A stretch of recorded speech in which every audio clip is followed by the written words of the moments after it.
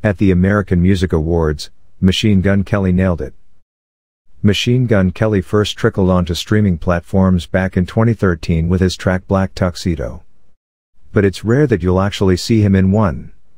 Instead, Kelly has become one of the most left field dressers in Hollywood, using any and every event to shock, stunt and experiment, and that's before the PDA with Megan Fox. There was the black tongue and open collared shirt. There was the time he rocked one of British designer Chet Lo's pink and blue cropped popcorn tops. And factor in last month's outing in a latex bolero, matching trousers and a transparent corset by Dolce & Gabbana.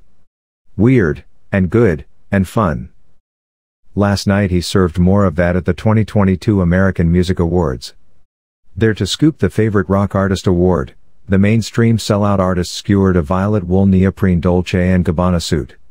Like, actually. There were spikes, dozens of them, that were made from gunmetal and measuring in at several inches. It's hard to pee in, Kelly told the crowd as he accepted his award. We figured.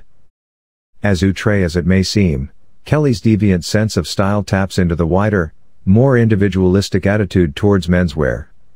Where once red carpets were awash with tight-fitting tailored numbers by the stalwarts of Savile Row, today's awards ceremonies, Premieres and press tours have become a place for celebrities to really get playful.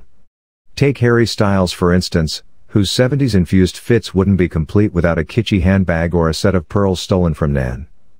Timothée Chalamet has made a strong case for corsetry, while plenty of guys, Joe Locke, Nick Jonas, Thomas Doherty, Manu Rios et al., have made going shirtless the norm.